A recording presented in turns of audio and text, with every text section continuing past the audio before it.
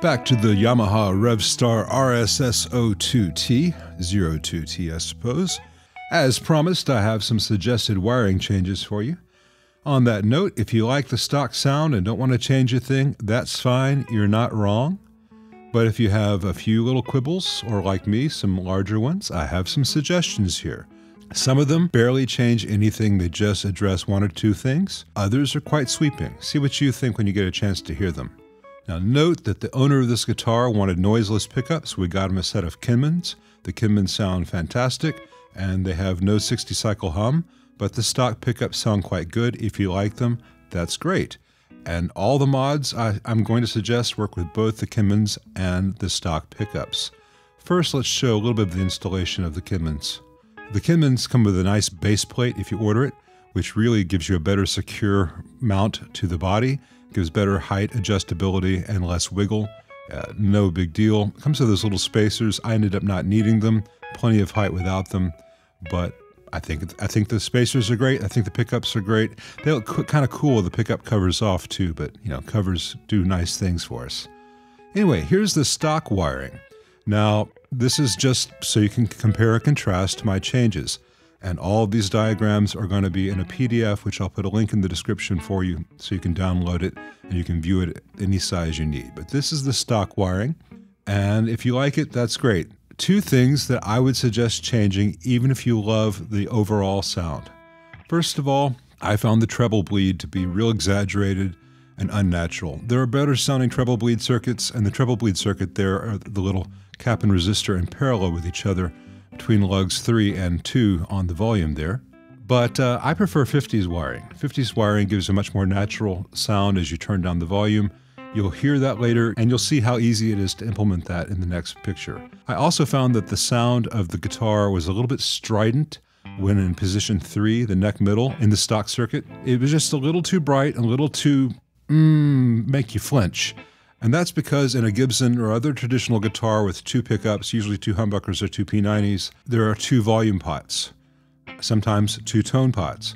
And when you have uh, the middle position selected, you have both volume pots in parallel with each other, which gives you a 250K load instead of a 500K load.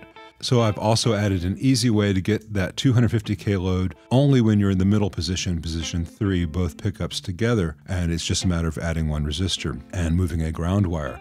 So here you see the easy changes. On the left, you can see the changes to the switch. We're going to ground those two unused common terminals. That'll let us do the 470K resistor there that you see, which only is in effect in position three. It also lets you run the pickup leads directly to the uh, common terminals on the switch and uh, have very short runs. So you have your shield and your center connected right there at the switch, better mechanical connection, fewer things going everywhere. Again, this is all available in a PDF link below, so you don't have to memorize what you see on the screen right now, because when you pause it on YouTube, it grays out and gets weird. On the right, you can see, and you have to compare it to the previous one, it'd be much easier to do on the PDF than here. But you can see how I've implemented the 50s wiring, which is just connecting the tone circuit to the wiper rather than the input of the volume pot. Uh, the Yamaha also has the tone circuit before the transformer. It's going to work fine either way. You're not going to have a problem with that, putting it after the transformer. I'm not a big fan of that transformer, but if you like it, that's fine. So that's positions 1, 3, and 5, but I had some other changes in mind, and let me give you a sneak peek of what the wiring for my changes looks like. It's a little more complicated, looks kind of scary. There's a diagram later. Anyone who's done this a while can do this pretty easily. It's, it's very simple. I also put in some new pots, and I'm kind of proud of the wiring there. I think it's really pretty. Uh, more than pretty, it's functional and sounds great. Those are some low torque 500K pots. Very nice. So let's go through what the wiring actually is in my suggested changes. Position 1, the neck pickup is exactly the same as stock except as you can see, the tone circuit is connected to the wiper. And position 5, the bridge pickup, again, exactly as stock, the only change is the tone circuit is connected to the wiper. Position 3, though, the middle position, so it's stock with the added 470K in parallel across the 500K volume pot, which gives you that 250K load, and again, the tone circuit is connected to the wiper. Where it starts to get interesting, though, are positions 2 and 4.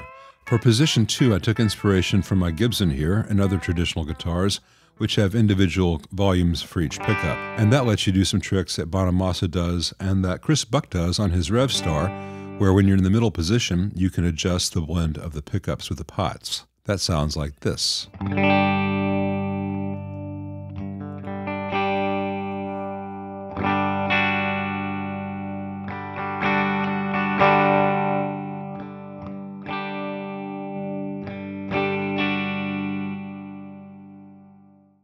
While my suggestion here doesn't let you adjust the blend, it does give you the benefits of a particularly good sounding preset adjustment. And so I've got a 47K coming off the neck in series and then a 270K coming off the bridge in series. So you're getting a little bit of reduction on the neck, a little more reduction on the bridge. Other than that, it's still stock. It doesn't have any phase weirdness, but it gives a little less output and kind of a scooped hollow sound, which is really great. Uh, it's not a strat sound, it's not a Tele sound.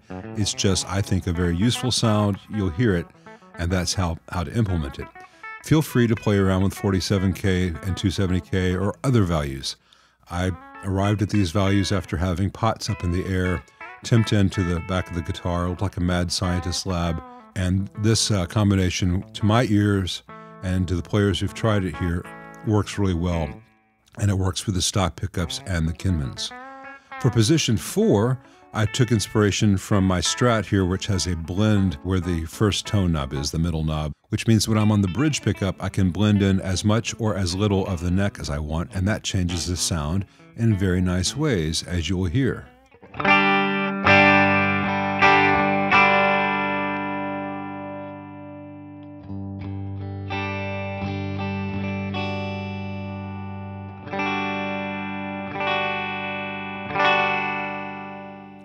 To achieve this, in the wiring, I have a 22K in series with the neck pickup and nothing in series with the bridge pickup. And there at the junction of the 22K and the bridge pickup output, both signals are going through that 10 nanofarad cap to the volume pot, which again, in position 4, I added that 470K resistor for 250K total load.